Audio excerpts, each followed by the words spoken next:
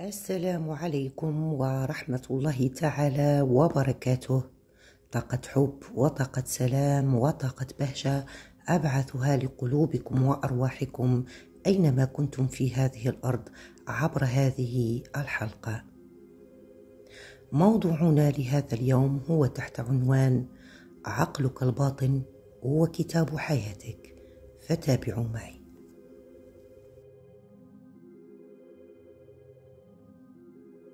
يجب أن تعرف أنه كيفما كانت الأفكار والمعتقدات والنظريات والمبادئ التي تكتبها أو تطبعها أو تؤثر بها على عقلك الباطن فسوف تتأثر بها بكونها تجسيدا للظروف والأحوال والأحداث الخارجية.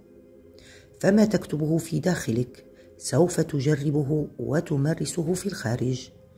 فهناك جانبان لحياتك جانب ظاهري وجانب باطني وجانب مرئي وغير مرئي وفكرة وتجسيدها. تستقبل قشرة عقلك الفكرة على شكل نبضات عصبية وقشرة المخ هي العضو الجسدي لعقلك الواعي وبمجرد استقبال عقلك الواعي أو الظاهر لهذه الفكرة واستيعابه لها تماما فإنها تنتقل إلى أجزاء المخ الأخرى حيث تتحول إلى شيء ملموس وتتجسد في تجربتك الحياتية. ومثلما تم توضيحه في حلقة سابقة فإن عقلك الباطن لا يستطيع أن يجادل لكنه ينفذ ما تطلبه منه فقط وما تطبعه فيه. إنه يقبل حكمك أو النتائج النهائية التي يتوصل إليها عقلك الواعي كأمر مفروغ منه. ولهذا السبب يكون ذلك بمثابة تأنيف كتاب حياتك لأن أفكارك تصبح هي تجاربك كما قال الفيلسوف الأمريكي إن مكنون الإنسان هو ما يفكر فيه طوال النهار. فما ينطبع في عقلك الباطن؟ يعبر عنه في الظاهر. قال ويليام جيمس عالم النفس الأمريكي إن القوة التي تحرك العالم كامنة في عقلك الباطن وعقلك الباطن يقس يتسم بذكاء مطلق وحكمة لا حدود لها وهو يتغذى على ينابيع خفية ويسمى قانون الحياة. وأي شيء تطبعه في عقلك الباطن فإنه سيبذل جهودا جبارة لتحقيق هذا الانطباع في الواقع العملي.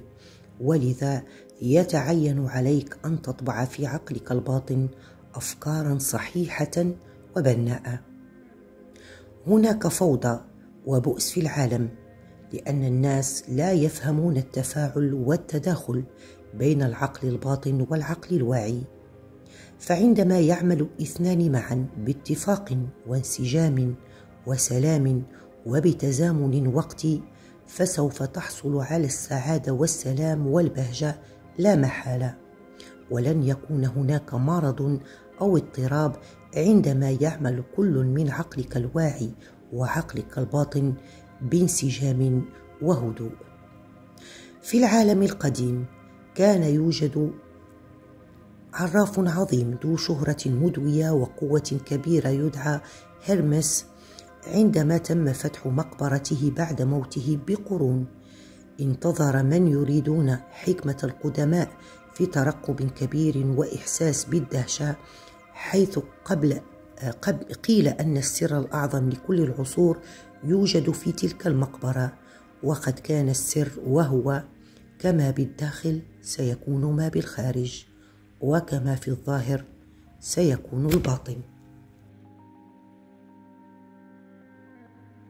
وبكلمات أخرى فإن الشيء الذي يترك انطباعات في عقلك الباطن يتم التعبير عن عنه واقعيا.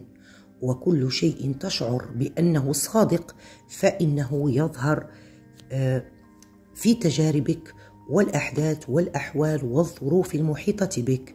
وهذا ما نادى به أعظم فلاسفه وقادة كل العصور. فإن الحركة والشعور يجب أن يكونا متوازنين. فما هو موجود في السماء؟ عقلك الخاص بك سيظهر على الأرض جسدك وبيئتك وهذا هو قانون الحياة الأعظم. سوف تكتشف في كل جزء من الطبيعة المحيطة بك قانون الفعل ورد الفعل. وقانون السكون والحركة. ويجب أن يتسم الإثنان بالتوازن حتى يتحقق الاتزان والانسجام. إنك موجود في هذا العالم لتجعل طاقة الحياة ومبادئها تتدفق خلالك بانسجام وتناغم. فيجب أن تتساوى كمية ما يتدفق منها بداخلك وما يخرج منك. فإن جميع إحباطاتك تأتي نتيجة رغباتك التي لم تتحقق. وإنك إذا فكرت بطريقة سلبية وهدامة وفاسدة فإن هذه الأفكار تولد مشاعر هدامة تجد لها بعد ذلك طريقا إلى الخارج. وتلك المشاعر لكونها ذات طبيعة سلبية فإنها تظهر باستمرار على شكل آه، قرح ومشاكل قلبية وتوتر وعصبية وقلق. ما هي فكرتك وشعورك عن نفسك الآن؟ إن كل جزء فيك يعبر عن تلك الفكرة فحيويتك وحالتك الجسدية والمالية والاجتماعية كلهم يمثلون انعكاسا لفكرتك عن نفسك. وهذا هو المعنى الحقيقي لما يطبع في عقلك الباطن والذي يتم التعبير عنه في جميع مراحل حياتك. فإننا ببساطة نسبب ضررا لأنفسنا بتلك الأفكار السلبية التي نضمرها كم عدد المرات التي آذيت نفسك فيها بسبب غضبك أو بسبب خوفك أو بسبب غيرتك؟ أو بسبب رغبتك في الانتقام. تلك هي السموم التي تدخل عقلك الباطن.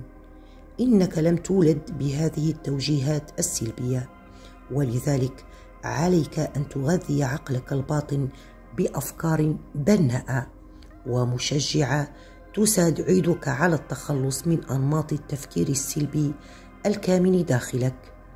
وكلما استمررت استمريت في فعل ذلك فإن الماضي كله سوف يزول وبعد هناك ولم يعد هناك ما تتذكره.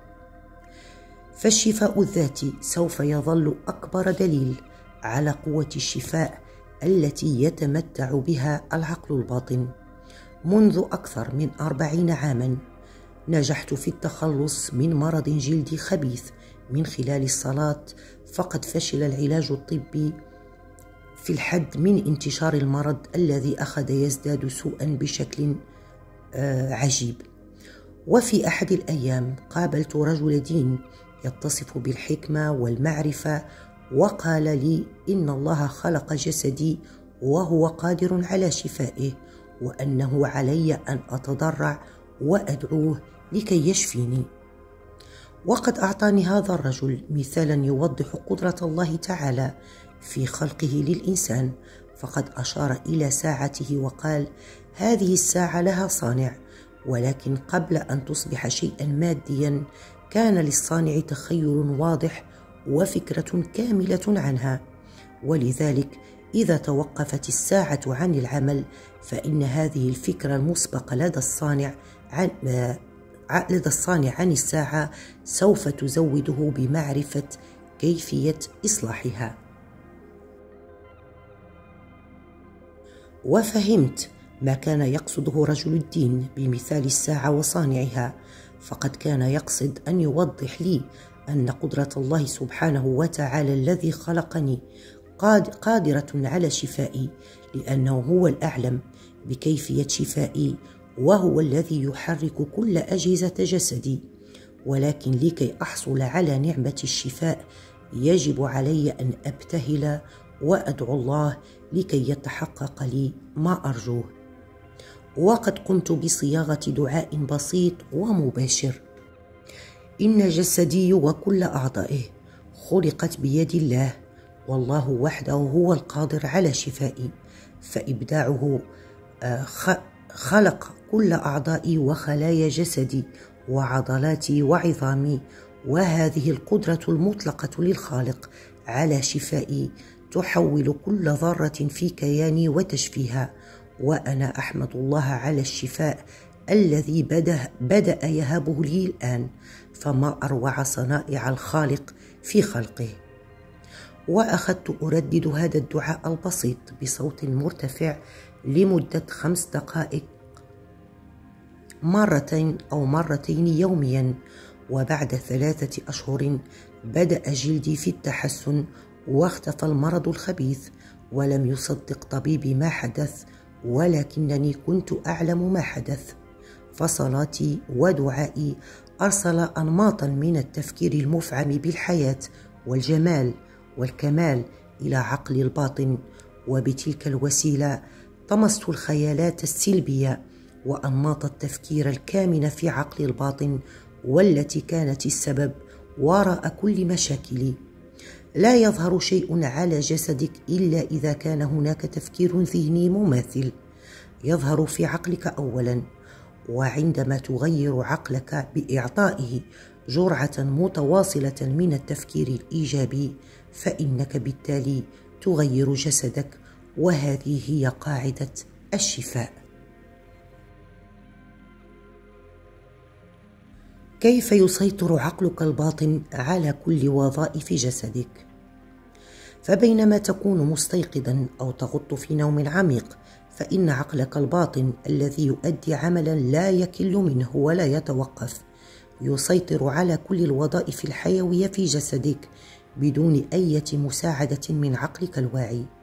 فعلى سبيل المثال في أثناء نومك يستمر قلبك في دقاته بشكل إيقاعي ولا تتوقف عضلاته والحجاب الحاجز عن ضخ الهواء داخل الرئة في شكل شهيق وزفير وثاني أكسيد الكربون الذي هو ناتج لنشاط خلايا جسمك.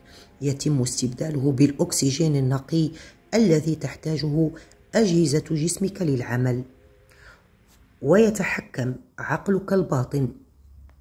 أيضا في عمليات الهضم وإفراز الغدد بالإضافة إلى العمليات المعقدة والمدهشة الأخرى التي تتم في جسدك. وكل هذا يحدث في يقظتك ونومك على حد سواء. أما إذا تم إجبارك على تشغيل عمليات الجسم بالعقل الواعي فبالتأكيد سوف تفشل وقد تموت سريعا. فتلك العمليات معقدة جدا ومتشابكة. فإن جهاز تنشيط القلب والرئة الذي يستخدم في عمليات القلب المفتوح يعد من عجائب تكنولوجيا الجراحه الحديثه ولكن ما يفعله هذا الجهاز أبسط بكثير مما يفعله عقلك الباطن لمدة 24 ساعة في اليوم طوال سنوات حياتك. ولنفترض أنك ستعبر المحيط في طائرة تفوق سرعتها سرعة الصوت وتجولت في حجرة القيادة. لن تعرف بالتأكيد كيف تقود تلك الطائرة ولكنك لن تجد صعوبة في أن تشغل انتباه الطيار وتسبب مشكلة بنفس الطريقة لا يتمكن عقلك الباطن من تشغيل جسدك ولكنه قد يعوق التشغيل المناسب وفي أحيان كثيرة يتدخل عقلك الواعي. في الإيقاع الطبيعي للقلب والرئتين وعمل المعدة والأمعاء وذلك من خلال التفكير والقلق والاضطراب وبواسطة الخوف والإحباط. وقد بدأ المجتمع الطبي مؤخرا في الاعتراف بعلاقة القلق والاضطراب بالإصابة ببعض الأمراض. والسبب هو أن هذه الأنماط السلبية من من التفكير والأحاسيس التي تتدخل في عمليات عقلك الباطن تتم بشكل انسيابي ومتناغم. فعندما تشعر بالاضطراب الذهني والجسماني فإن أفضل ما يمكنك فعله هو الاسترخاء والابتعاد عن كل ما يضايقك والتوقف عن التفكير في أي شيء. تحدث إلى عقلك الباطن وأخبره بأن يطلع بمسؤولية التنظيم بطريقة هادئة ومتناغمة. وفي تلك الحالة سوف تجد أن جميع وظائف جسدك تعود إلى طبيعتها. تأكد أنك تتحدث إلى عقلك الباطن بصيغة المسؤول وبالإقناع وسوف تجد أنه يستجيب لأمرك. فأول شيء يتعين عليك أن تدركه وتستوعبه هو أن عقلك الباطن في حالة عمل دائم. إنه نشط ليلا ونهارا سواء أصدرت إليه اوامرا بالعمل أو لم تصدر. فعقلك الباطن هو عامل البناء لجسمك ولكنك لا تستطيع أن تفهم أو أن تعي أو أن تسمع هذه العملية الداخلية التي تتم بصمت. فما تتصل به هو عقلك الواعي وليس الباطن.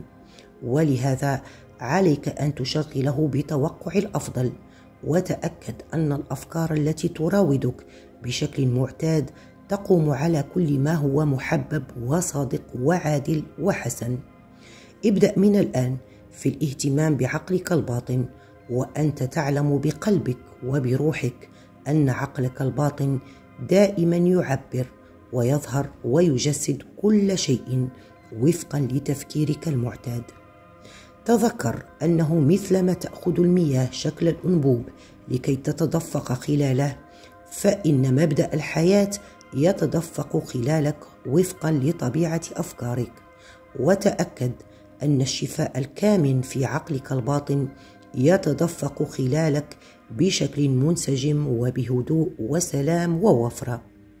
فكر في عقلك الباطن على أنه الذكاء المفعم بالحياة. ورفيقك الودود طوال رحلة حياتك. وكن على إيمان دائم بأنه سيستمر في التدفق داخلك ليعطيك الحيوية والنشاط والإلهام والرفاهية وأنه يستجيب بنفس الطريقة التي تفكر وتؤمن بها. سؤال آخر كيف تنقل فكرة الصحة التامة إلى عقلك الباطن؟ أخبرني أحد المسؤولين في جوانسبورغ وهو يشغل منصب وزير في جنوب أفريقيا بالطريقة التي استخدمها لنقل فكرة الصحة الكاملة إلى عقله الباطن. فقد أصيب هذا الرجل بسرطان آه، بسرطان وكانت التقنية التي اتبعها كما وصفها لي في رسالة بخط يده كالتالي خلال مرات عديدة من اليوم كنت أتأكد أنني في حالة استرخاء ذهني وجسدي تام. كنت أجعل جسدي مسترخيا وأخاطبه بالعبارات التالية. قدماي مسترخيتان وكاحلاي مستخ مسترخيتان. وساقاي مسترخيتان. وعضلات بطني مسترخية. وقلبي مسترخ. ورئتاي مسترخيتان. ورأسي مسترخ والكل كياني مسترخٍ. وبعد خمس دقائق أجد نفسي في حالة نعاس ثم عندئذ أؤكد الحقيقة التالية. فكرة الصحة الكاملة تملأ عقلي الباطن الآن والعقل الباطن يعمل بكامل قوته وفقا لهذه الفكرة. وفعلا لقد تحقق لهذا الوزير الشفاء التام. وقد كانت الطريقة التي استخدمها في منتهى البساطة ولكن على درجة عالية من الوضوح في توصيل فكرة الصحة التامة للعقل الباطن. وهناك وسيلة أخرى لنقل فكرة الصحة الكاملة إلى عقلك الباطن من خلال التخيل العلمي أو المنظم. فنصحت رجلا كان يعاني من شلل حركي أن يتخيل صورة حية عن نفسه وهو يتجول في مكتبه. ويلمس المكتب ويرد على الهاتف ويفعل كل الأشياء التي اعتاد أن يفعلها وهو صحيح الجسد. وشرحت له أن هذه الفكرة وهذه الصورة الذهنية للصحة الكاملة سوف يقبلها عقله الباطن. وعاش هذا الرجل الدور وفعلا شعر وتخيل أنه عاد إلى مكتبه وعرف أنه يعطي عقله الباطن شيئا محددا للعمل على تحقيقه وكان عقله الباطن بمثابة آه، القيام الذي طبعت عليه هذه الصورة الذهنية. وذات يوم بعد عدة أسابيع مارس فيها هذا التخيل بشكل مستمر دق الهاتف على غير موعد ولم يكن يوجد أحد لا الممرضة ولا زوجته. وظل الهاتف يدق وكان على مسافة 12 مترا من فراشه. ومع ذلك تمكن الرجل من الرد على الهاتف. في تلك اللحظة كان قد شفي من حالة الشلل الحركي فإن قوة الشفاء الكامنة في عقله الباطن استجابت بصورة عجيبة سبحان الله للصورة الذهنية التي تخيلها ومارسها لفترة من الوقت وبالتالي تحقق له الشفاء. لقد كان لدى هذا الرجل آه، سد عصبي منع الموجات الصادرة من المخ من الوصول إلى ساقيه وبناء على ذلك لم يستطع تحريك ساقيه. وعندما تقام بتحويل انتباهه إلى قوة الشفاء الكامله بداخله تدفقت تلك القوة من خلال بؤره تركيزه لتعطيه القدرة على السير مجددا. فايا كان الشيء الذي تطلبه في صلاتك مؤمنا بإمكانية تحققه فسوف تحصل عليه. نختم هذه الحلقة بأفكار تستحق التذكر. اولا عقلك الباطن يسيطر ويتحكم في جميع العمليات الحيوية في جسمك ويعرف حل كل المشاكل. ثانيا قبل توجهك إلى النوم أبلغ عقلك الباطن بطلب محدد وتأكد من قدرته على صنع المعجزات. ثالثا ايا كان الشيء الذي تطبعه في عقلك الباطن فإنه يظهر على شاشة الأحداث والتجارب التي تمر بها. ولذا فإنه يتعين عليك مراقبة كل الأفكار التي تدخل عقلك الواعي بعناية كبيرة. رابعا الفعل ورد الفعل قانون كوني. فكرتك هي الفعل واستجابة عقلك الباطن لها هي ردة الفعل. لذا عليك مراقبة أفكارك. خامسا يرجع سبب الإحباط إلى عدم تحقق الرغبات فإذا وضعت العقبات والصعاب وقمت بالتسويف فإن عقلك الباطن سوف يستجيب وفقا لذلك كله وبذلك تعطل أي شيء يكون في مصلحتك. سادسا مبدأ الحياة. سوف يتدفق خلالك بإيقاعية وانسجام إذا أكدت بوعي قائلا لنفسك إنني أؤمن بأن قوة عقل الباطن التي أعطتني هذه الرغبة تقوم بتحقيقها من خلالي وهذا يقضي على كل النزاعات والصراعات بداخلك. سابعا إنك قد تتسبب في الإخلال بالإيقاع الطبيعي لقلبك ورئتيك وأعضاء جسدك الأخرى من خلال القلق والتوتر والخوف. عليك أن تغذي عقلك الباطن بالأفكار الانسجام والسلام والصحة وعندئذ ستصبح وظائف جسدك تعمل بشكل طبيعي مرة أخرى. ثامنا اجعل عقلك الواعي مشغولا دائما في توقع الأفضل وبالتالي يسجل عقلك الباطن بكل طاعة تفكيرك المعتاد. تاسعا وأخيرا تخيل النهاية السعيدة أو الحل لمشكلتك.